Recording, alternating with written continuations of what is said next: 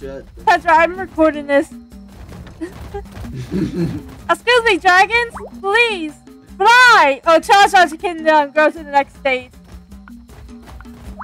They can go inside here. Um, fly up high, fly up Uh. high, fly up high, fly up